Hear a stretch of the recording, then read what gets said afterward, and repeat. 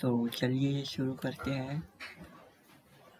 For first select compute engine for second for the first select cloud function and for the second select compute engine and for the select auto scaling and for four click standard environment.